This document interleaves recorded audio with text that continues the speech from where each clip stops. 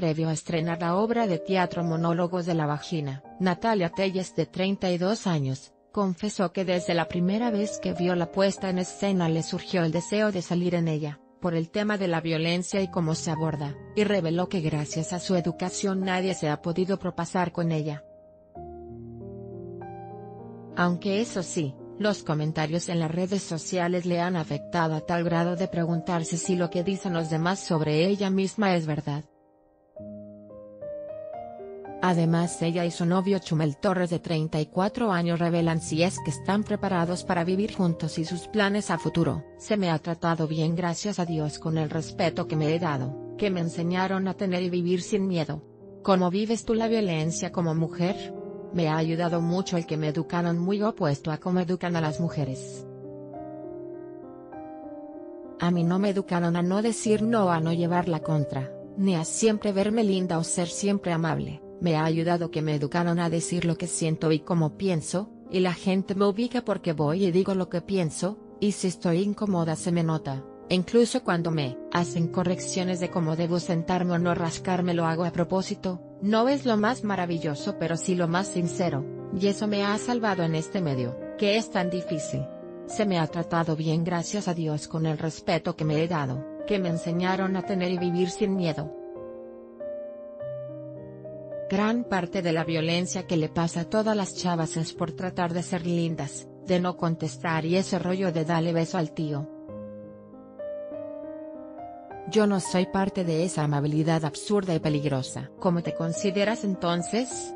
No soy una persona grosera, pero no tengo amabilidad castrante, y eso me ha salvado de muchas situaciones, pero sé, porque lo vivo todos los días, cómo se coloca a las mujeres en un nivel de respeto por un prejuicio físico, de cómo se visten, de cómo enfocan su trabajo. Mientras más sexualizan su imagen, menos respeto se les tiene en el medio. Lo más complicado de tu carrera que ha sido, llegar al punto en donde le crees a la gente más de lo que te crees a ti, eso es algo peligroso que he llegado a sentir, y gracias a Dios no vivo desde ahí. No vivo para agradar, sí para experimentar. Por eso me encanta hacer monólogos, y planteo importante ir hacia donde tu corazón te lleva aunque suene muy cursi. Pero lo más difícil es vivir esa vulnerabilidad, y puede llegar a no creerte. Eso está horrible y hay que huir.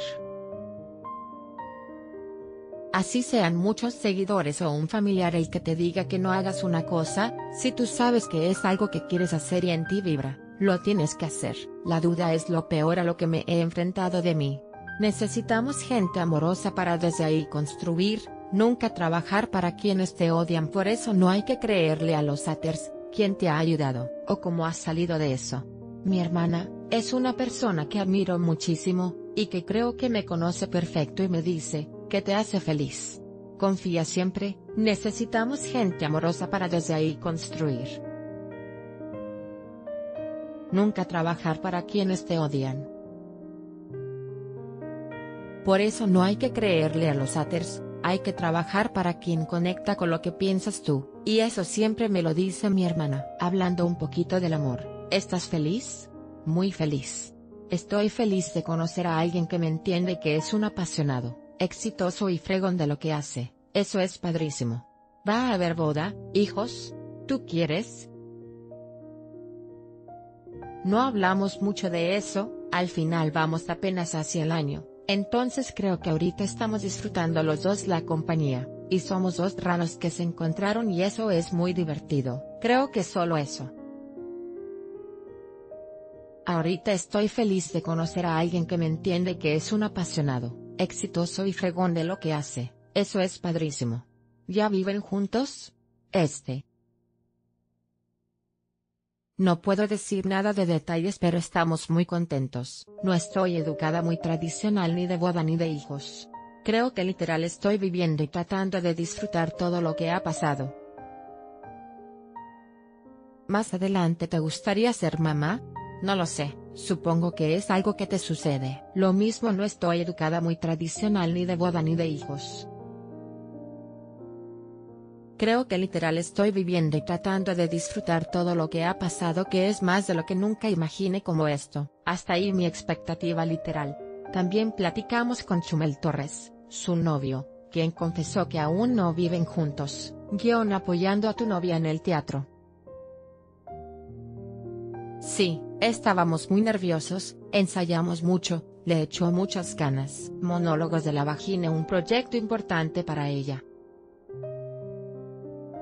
Le gusta el texto cuando se lo ofrecieron fue el día que estuvimos en la premier de Los Miserables, le ofrecieron el papel y habla de eso toda la noche, tiene formación como actriz y le va a ir muy bien. ¿Qué consejos le diste? Le dije, flaca concéntrate, enfócate, calla las voces y tú solita lo que sabes hacer, diviértete, si te diviertes tú el público también. ¿Cómo va la relación? Bien padre, nos echamos mucho la mano y procuramos estar en todo lo que tengamos juntos, nos echamos porras uno y otro. Por ahí se decía que ya viven juntos, ¿no? Todavía no. Nos hemos ido de vacaciones juntos, la pasamos bien, no sé cuándo vivamos juntos, pero estaría chido, aunque no hemos platicado de eso pero seguro luego será. ¿Planes para el futuro? No, está bien. Tenemos tanta chamba que procuramos disfrutar cuando nos vemos, el fin de semana, las vacaciones y eso. No nos contaminamos mucho con idea de qué pasará después, preferimos estar cerquita y echarnos la mano cada que podamos. ¿Qué fue lo que te enamoró de ella? Es una morra súper inteligente, la conocía de hace unos años, y sabía que le giraba la ardilla muy cañón. Estar con una chava que te devuelve la pelota es increíble.